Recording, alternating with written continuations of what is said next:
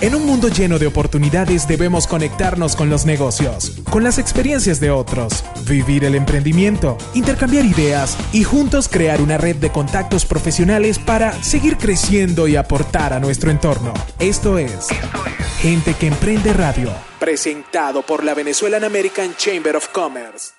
Esto es Gente que Emprende Radio en una combinación especial con Dale Play Miami, que es el, el morning show de BDM Radio, pero no podíamos dejar pasar esta oportunidad, Lucía. Sí, señor, yo soy Lucía Tobar y estoy invitada hoy en Gente que Emprende Radio para hacer esta conversación o para tener esta conversación eh, espectacular para dos ediciones y un solo invitado. Sí, señor, él es Arturo Enamorado, que es presidente de la Cámara de Comercio eh, Hondureña Americana, para conversar algunos temas que tienen que ver con las cámaras y que seguro va a ser interés de nuestra gente en la Cámara Venezolana Americana de Comercio y, por supuesto, de todo lo que trata. Que dicho sea de paso, está siendo muy bien liderada por el presidente Mauricio Tancredi, que es muy amigo mío. Sí, señor, está, está ahí al frente y seguramente está conectado con nosotros escuchando esta entrevista.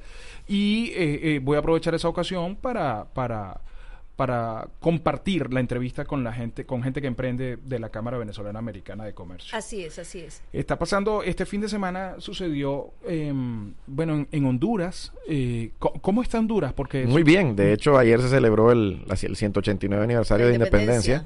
15 de septiembre de 1821. Claro, todo Centroamérica, ¿no? Que se celebra en conjunto. Todo Centroamérica, efectivamente. Y eh, aquí cada quien, o sea, va haciendo sus fiestas y todo. Nosotros tuvimos el, el placer nosotros digo a nombre de la Cámara de Comercio y también hablo como, como educador de, y director de campus de la Universidad de Ana Méndez, en el sentido de que el cónsul general recién nombrado, porque como el gobierno cambia y todo, es cierto que hay una transición de reelección que hubo con el presidente Juan Orlando Hernández, pero los funcionarios sí, tienen que cambiar, es por ley de Cancillería.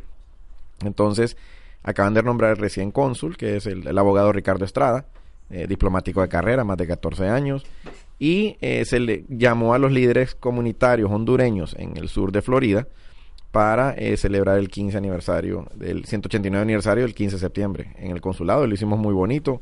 Este, en el consulado no hizo nada pomposo, sino que más bien lo hizo en el consulado con su gente y los invitó a almorzar. ¿Cómo, es la comunidad empresarial hondureña? ¿Es nutrida? ¿Hay, hay bastante? Sí, o sea, la, comunidad hondureña sí es nutrida, no es tan nutrida como la venezolana, ni la colombiana, ni la brasileña. Eh, definitivamente está creciendo. Eh, de hecho, las estadísticas demuestran que hay 1.8 millones de hondureños esparcidos por todo Estados Unidos. Wow. Por eso se le considera lo que se llama el departamento o estado número 19. Honduras está, está conformado por 18 departamentos. Entonces, de esta manera Solo en el estado de Florida hay más de 150 mil hondureños. Oh, una cifra importante. Y uno pensaría que no, porque no, no se ven mucho. Como que los venezolanos hacen mucho ruido. Nosotros somos muy escandalosos, somos muy escandalosos. Pero eso es bueno, con arepa y con el arequipe y, todo, es re delicioso, correcto. muy bien, qué, qué, interesante, pero ahora, ahora mm, me gustaría que nos lleváramos la conversación, que ya lo había conversado con Lucía, a lo que es la educación, a cómo se está asumiendo ahora la educación con tanta información, eh, partiendo de que era el director del Campus Sur de la Ana G. Méndez con todo lo que está pasando ahora, con, con, todos los cambios, ahorita estábamos leyendo un artículo mientras te esperábamos donde decía que las librerías han tenido que reinventarse por, para competir con Amazon y para competir con otras tiendas virtuales. Eh, eh, ¿cómo, se reinventan las universidades? Y me alegra que tocas ese tema y sobre todo lo de la, la biblioteca y la librería. Es por eso que me encantaría, y están completamente invitados, que llegaran a visitar el campus en Miami Lakes. Encantadísimos. Eh, porque es un edificio de 50 mil pies cuadrados, 21 eh, salones de aula, un salón de conferencia magno, en el cual, como les digo, o sea, están completamente invitados. Eh, me encantaría que llegaran a conocerlo, porque una de las preguntas tiene tu respuesta ahí en lo que se llama el Learning Resource Center, o el Centro de Recursos de Aprendizaje. Ya no se le llama biblioteca ni librería. Por oh. eso mismo Claro. Porque sí van a ver un pedacito de eso de los libros antiguos, pero todo es puras computadoras ahora. Entonces, eh, las mismas eh, casas editoras se han tenido que reinventar a competir con esto y entonces dar las, dos ya dar las dos versiones. O sea, la universidad o compra el, la versión paperback, como se dice, hard copy, o la versión digital. Que la versión digital cuesta 50% menos usualmente en las casas editoras del precio de paperback. Pero por regulación del Estado, siempre se debe mantener, y por la licencia de educación de la Comisión Independiente de Educación, que es el ente regulador educacional del Estado de Florida, eh, se tiene que mantener un cierto porcentaje de libros físicos. Sin embargo, ya la transición se puede decir es como la ley de Pareto, 80-20. 80% digital, 20% Es que físico. creo, creo, Arturo, que esa es una de las cosas que también tiene que reinventarse, la legislación, porque ya va todo tan apresurado. Yo comentaba con Lucía nuevamente eh, que ahora prácticamente uno tiene que aprender cada vez que sale un dispositivo nuevo. Tienes que, ah, no, olvida lo anterior, ahora hay una nueva forma de hacer el video, ahora hay Bueno, una nueva forma de tanto de También cuánto. va con el marketing, te voy a decir, porque Sí, te voy a decir una cosa. Total. Yo el teléfono es, eh, lo miro como un- una, una, un- una herramienta de uso. Ya no, yo no tengo esa emoción de como lo- los chavales o los millennials que, ah, Salió que el me iPhone salió nuevo, iPhone eh, 9, el 10, el voy. 11, el 15, el 20, ahí voy. No, ahora sí en los servidores, ponga todo en su servidor y ya. O sea, y cuando Sí. ya eh, bueno, esa es una, una teoría conservadora, pues, porque la verdad es que el aparato ya solo funciona como aparato. No, pero tanto es así que Apple está sacando nuevas unidades de negocio a partir de eso, porque ya la gente no cambia el teléfono cada año o cada dos años como sucedía antes, sino que ahora sucede cada cinco años. Bueno, y una encuesta eh, que hicieron en algún lugar dice que la gente para lo que menos usa el teléfono es para hablar por teléfono. Es que ahora es el mundo del texto. El mundo del texto. Pero ahora somos The Talking Dead. Ujú, Tú buscas, tú buscas la informa tú buscas la información por el teléfono, tú lees en el teléfono, tú haces absolutamente Es que el teléfono todo dejó de ser el teléfono, como tú bien lo dijiste ahora mismo. Es una, un- yo por eso dije una, herramienta, de trabajo. Sí. Total. Yo es tu trabajo- asistente personal. Es mi asistente. Yo tengo No, mi sí, teléfono como aquí mi está la asistente agenda. personal. Sí, sí, ahí está todo. Ahí Y- está la y- agenda y ahí. Tú vienes, pagas, pagas eh, lo- tus biles, este, pagas este, el carro, pagas, compras Y- comida, haces de todo por Y ahí. si uno es ordenado, como nuevamente repito, eh, todo lo subes al servidor, que le dicen la famosa nube. La no, hay tal nube, es un Sí. servidor. Y, definitivamente si lo tenés todo guardadito ahí ordenadamente, se te pierde el aparato, solo se reemplaza y ahí Y está ya. toda tu información Ahí íntegra. está toda su información. ¿Cuál es el mayor desafío que enfrenta la educación en los tiempos de la globalización? Pues te voy a decir bien claro. eh, eh, gracias a Dios que eh, Ana G. Méndez ha sabido jugar con esta variable. El, el- el fenómeno del online. Ya el fenómeno del online en estos tiempos está eh, funcionando de una manera excepcional. O sea que vamos bien, eh, Frank, vamos bien. O sea, eh, en el tiempo, en los tiempos, los 2000 el, el, uno de los 2000 uno decía yo estoy estudiando online y lo quedaban viendo a uno con el ojo gacho. claro, sí, te claro. decían, ¿eso Ah, qué es? Ahora más bien voy a la universidad y le queda ¿cómo? O sea, Pero es que sabes, Arturo, que lo mismo está pasando con este tipo de emisoras, que antes era una excentricidad tener una emisora en línea y ahora es perfectamente práctico porque todos los teléfonos tienen la aplicación, porque ahora los carros de última generación también vienen con las aplicaciones. Entonces ya tú llevas tu radio para donde quieras. O sea, estás escuchando tu programa de radio, que es el programa de radio de tu ciudad perfectamente, pero si vas a Madrid, que tienes que ir a hacer un taller o algo de la universidad que te mandó, tú igual estás conectado con tu programa, igual lo estás escuchando e igual estás conectado con lo que está pasando en tu ciudad. Exactamente. Entonces, por ejemplo, eh, la Universidad Ana G. Méndez nació hace 70 años en Puerto Rico, por ejemplo. Y nació- tiene tres campuses principales en Puerto Rico y 13 estaciones, eh, lo que se puede decir centros universitarios aledaños en toda la isla. Eh, sin embargo, hace 13 años se, pus- eh, se pusieron los cinco campuses físicos aquí en Estados Unidos continental. O sea, nació en Orlando, de ahí Miami, Dallas y Maryland. Sin embargo, la división online ya se está potenciando mucho más y está operando desde Dallas, porque las regulaciones y leyes Oh. de operación son muchísimo, se puede decir un poco más fáciles, o Más sea, laxas. más sí, más tranquilas, si se puede decir más relajadas. Sí. Porque recuerden que Estados Unidos, a pesar de que son 50 estados unidos, al mismo tiempo son separados. Son separados. Cada ley, Claro, cada, ley uno- es distinta. Cada estado tiene su legislación. Y el estudio reveló de que, que Texas tiene unas regulaciones bien interesantes, un poquito más suaves que lo que es Washington y lo Maryland y que lo que es eh, Flo- Florida. Entonces, definitivamente el campus online de Ana G. Méndez está operando desde Dallas. Sin embargo, atiende toda la población nacional, internacional que desee entrar.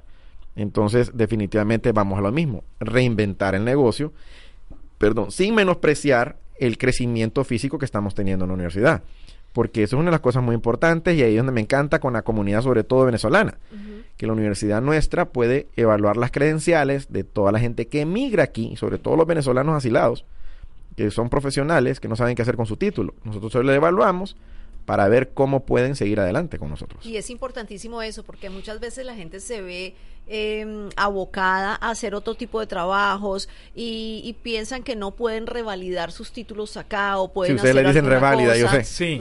Evaluación de credenciales es la palabra, el término internacional, si se puede decir. eval- evaluación de credenciales, o sea, volver a, a sacar su título eh, o traer el título y hacerlo válido dentro de los Estados Unidos para poder trabajar dentro No. de su co- dentro Les de voy a poner un ejemplo. Si, por ejemplo, viene un abogado que se graduó en Venezuela, eso ya es, es un pregrado. Nosotros evaluamos el pregrado y una ventaja de la universidad es que tenemos el- el- el- lo que se llama el departamento de evaluaciones interno, directo adentro de la universidad. No dependemos de terceros. Que hay muchas instituciones ¿Ah, sí? aquí, sí, ¿Dependen de claro. terceros? Nosotros no dependemos de terceros. Tenemos el, si se puede decir, el departamento de evaluación interno en la universidad, que es un proceso mucho más fácil, no tiene costo si se matricula con nosotros y definitivamente le da el paso in- eh, inmediato a, a sacar. Por ejemplo, con este abogado que es pregrado, puede entrar a una maestría, pues qué tal que fue un abogado de, de, que- de- que- código penal. Y como en los países de nosotros, Latinoamérica, el abogado sirve para todo, perfectamente puede entrar a lo que se llama una maestría de Criminal Justice, Oh, si su profesión es esa. Im- importante. Estamos conversando con Arturo Enamorado. Eh, ya regresamos, vamos a un corte musical. Sí, nosotros Eh, y- somos Fran Carreño y Lucía Tobar por BDM Radio. Ya volvemos.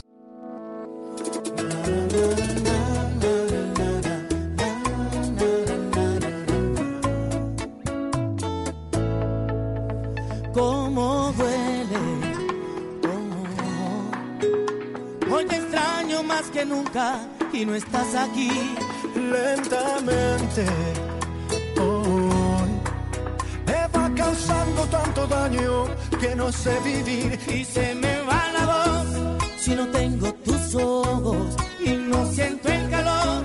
Si esas noches no son mías y no estoy junto a ti, la razón para vivir de rodillas, de rodillas junto a ti. Y se me pensando que te has sido mujer y no siento el calor, el calor de lo prohibido. Y entrégame para todo, que todavía llevo dentro la razón de ese recuerdo.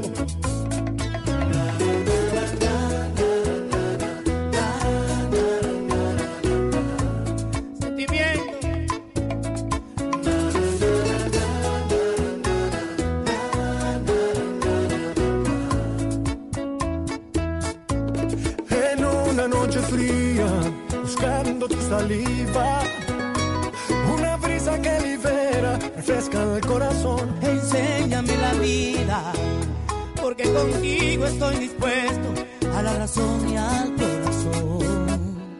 Y se me va la voz si no tengo tus ojos y no siento el calor. Si esas noches no son mías y no estoy junto a ti, la razón para vivir. De rodillas, de rodillas junto a mí.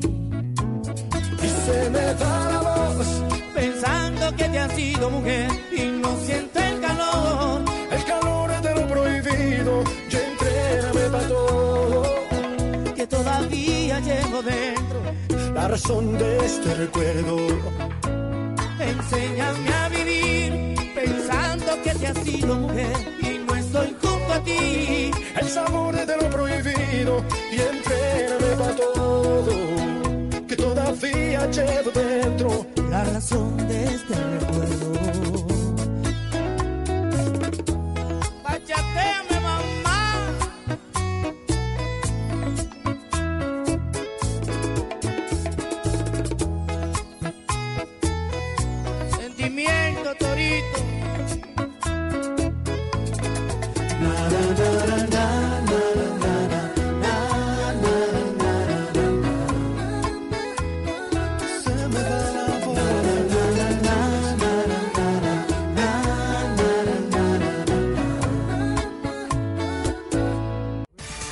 Gente que Emprende Radio, un espacio para apoyar el desarrollo de nuevos emprendedores y empresarios. Entrevistas, historias de éxito, eventos, informaciones y herramientas de valor para contribuir con el crecimiento de tu negocio. De tu negocio. Gente que Emprende Radio. Nosotros desde nuestra experiencia con voces de marca hemos visto que las personas que se apuntan en los cursos online eh, tienen unos desempeños casi que a veces superiores a las personas que lo hacen en, en presencial porque tienen la posibilidad de ver y ver y ver y ver varias veces su clase. Ilimitado. Eh, es ilimitado, las prácticas son ilimitadas porque ellos pueden hacer sus prácticas constantemente hasta que, que desarrollen una habilidad. Porque en, en el caso nuestro, eh, los cursos son prácticos.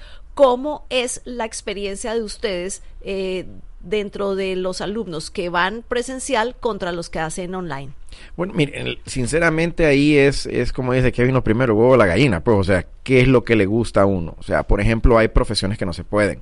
Nursing, tenemos también la división de nursing. Ah, Eso no se puede hacer online. Claro, O sea, es más eso, requiere práctica Exactamente, entonces eh, todo depende de enfermería, cuál es para tu los que nos están escuchando fuera de eh, enfermería. ¿Tienen Eh, mixto también? Claro. Entonces hay un híbrido, me explico. Ajá, ajá. Puede haber un híbrido, este, definitivamente que eh, la disciplina depende mucho de la persona que se matricula.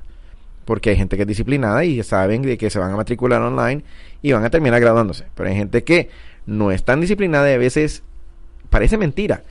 Pero el online es más difícil que el presencial. Porque Claro. requiere de mucha disciplina. Totalmente, Claro, requiere totalmente. mucho compromiso con uno mismo, Y- porque no tienes al profesor ahí día a día. eh, aunque eh, hay eh, tutores, aunque hay sí. métricas, aunque hay programas de que le mandan alertas y todo, eh, requiere de mucha disciplina. Muchísima disciplina. Estamos conversando, eh, perdóname que te interrumpo, hoy es lunes de interrupción. Eh, eh, estamos conversando con Arturo Enamorado, eh, presidente de la Cámara Hondureña Americana y además director Director del campus. Del del campus de, Del sur de Florida. sur de Florida de la Ana G. Méndez. ¿A qué hora comienzan las actividades en la Ana G. Méndez? El campus abre a las ocho y media de la mañana y está abierto hasta las diez y media de la Para noche. saber si podemos irnos a hacer un programa desde allá y compartir con los Con alumnos. Deberíamos, deberíamos, Claro, deberíamos hacerlo hacer porque la, educación es ahí. prioridad. Vamos a conversarlo ahí con nuestros productores para... Sí, sí, total. hay Y bueno, eh, nosotros este tipo de alianzas son las que nos interesan. Eh, definitivamente, por ejemplo, el sábado, tú- el, es- el campus está abierto de lunes a sábado. Nada más que el sábado abre a las diez y media de la mañana, a menos que haya una actividad especial, y cierra a las cinco y media de la tarde.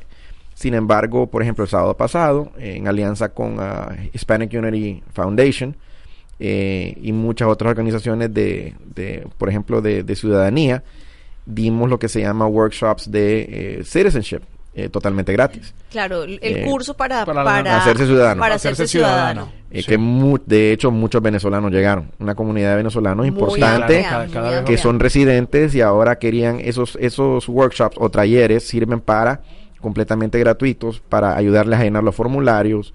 Eh, le, habían estaciones de trabajo eh, con gente que conoce el sistema de regulación de, de inmigración de Estados Unidos y eso se hizo este el sábado pasado. ¿Esos workshops Claro. son gratuitos? Son gratuitos, correcto. gratuitos. Por ejemplo, este sábado tenemos eh, una, un- una serie de paneles de empresarios de Miami y de otros países eh, con una fundación de Women in Leadership Foundation en el cual eh, van a haber expertos panelistas dictando temas y, y- y lo que llamamos es que la gente llegue a educarse. Claro. Y son gratuitos, aparte que conocen la universidad. Si bien es cierto que, que el, Qué interesante. el- Perdón. si bien es cierto que el idioma principal aquí en, en- en los Estados Unidos es el inglés, por otro lado, el mercado, el mercado latino, el mercado hispano es amplio y hay universidades como el- el FIU que tiene un programa de periodismo en español. Ustedes tienen Nosotros programas tenemos, en digital, español. de- nosotros tenemos digital journalism y un punto muy importante, me encanta que hayas tocado ese tema, porque la Universidad Ana G. Méndez tiene un sistema patentado que es el Dual Based Language System. ¿Qué significa eso? El sistema de bilingüismo. En la universidad, las clases se dan una semana en inglés, una semana en español. Una semana en inglés, una semana en Oh, qué español interesante. durante todo el, lo que se llama el, el PT, los términos del, del, del- del- de part of term, los términos de las clases. Eh, ¿En qué sentido se hace eso? Ese sistema lo que hace es que el alumno va conociendo, si usted su fortaleza es el inglés, va a tener un conocimiento más amplio del español, porque fuerza al cerebro, hace una- Claro, claro. a que trabaje un poco más. Entonces, eh, a excepción de español e inglés, que sí, solo se dan en español y solo se dan en inglés, las clases de inglés-español, eh, las otras clases se dan una semana en inglés, una semana en español, una semana en inglés, una semana en español. Claro. Entonces sale un profesional más avanzado y más, eh, en cierto modo, le ayudamos a soltar la lengua. Claro. O sea, Total, porque que- es que, que al al final- final, Qué bien. Al final termina siendo una fortaleza de los tanto de los ejecutivos como de los profesionales de la Florida, que son bilingües casi todos. Y entonces cuando vienen de, ar- de otros estados a trabajar aquí, les dicen, no, tienes que hablar español y tienes que hablar inglés. y les, Entonces, les eso no es más nivel. complicado porque el- la gente que está aquí generalmente termina necesitando hablar los dos idiomas. Totalmente. Así estemos en un espacio donde vamos a la esquina y la gente me das un café, pero necesitamos aprender a, a pedir un café en inglés, a dar las gracias, a, a- a llevarnos. ¡Ey! La literatura en inglés es diferente a la literatura que se que se Y tiene por en ejemplo, español. ¿qué tal que usted se gradúa aquí en Florida? Pero ¿qué tal que por casualidad de la vida lo contratan en Iowa?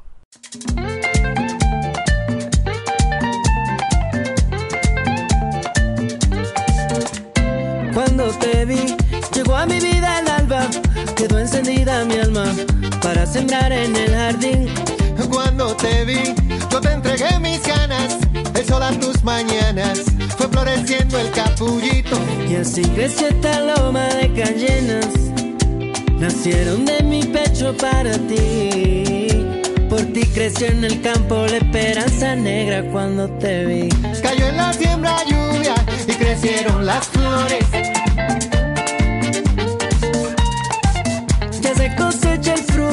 De nuestras ilusiones. Mamita linda,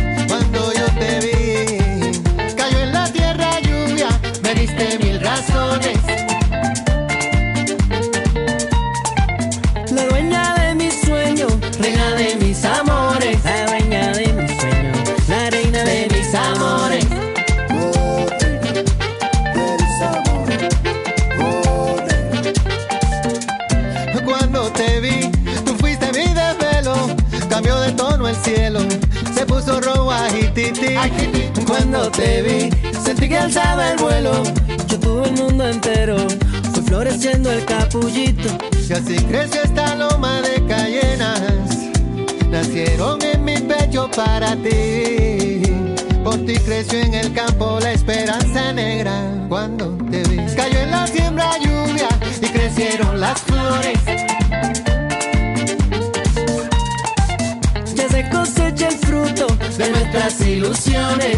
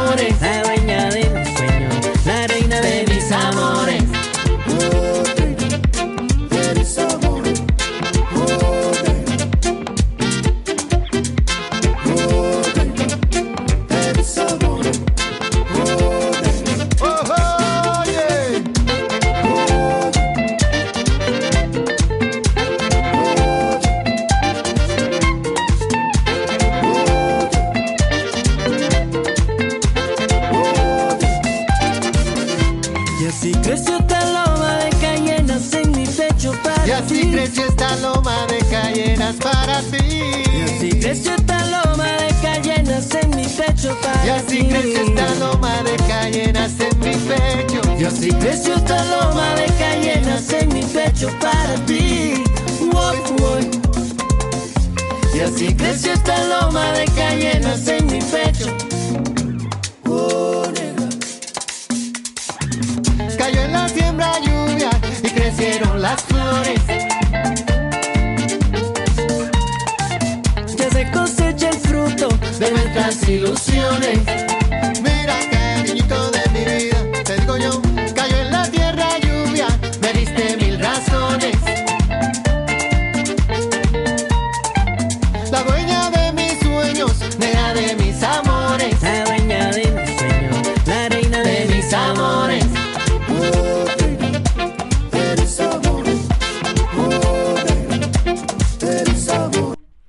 Bien, y esto fue esta edición especial entre Dale Play Miami y Gente que Emprende Radio, el programa de la Cámara Venezolana Americana. Em, bueno, ustedes pueden seguirnos a través de las redes sociales de BDM Radio, a través de la Venezuelan Chamber, arroba Venezuelan Chamber, eh, eh, también pueden seguir. Eh, también pueden seguirnos por YouTube en el canal de BDM Radio y suscribirse. También lo pueden hacer a través del Facebook Live para ver nuestros programas grabados. Sí, señor. Y nuestras cuentas en Instagram, arroba VDM Radio y en Facebook también VDM Radio y en Twitter VDM-radio. Y las nuestras, Franca Renovos. Y Lucía Tobar TV. Lucía, fue un placer tenerte en esta edición especial de Gente que Emprende Radio. El placer fue mío, un excelente invitado y siempre es un gusto compartir con la gente de Gente que Emprende de la Cámara Venezolana Americana de Comercio. En un mundo lleno de oportunidades debemos conectarnos con los negocios, con las experiencias de otros, vivir el emprendimiento, intercambiar ideas y juntos crear una red de contactos profesionales para seguir creciendo y aportar a nuestro entorno. Esto fue, Gente que Emprende Radio, presentado por la Venezuelan American Chamber of Commerce.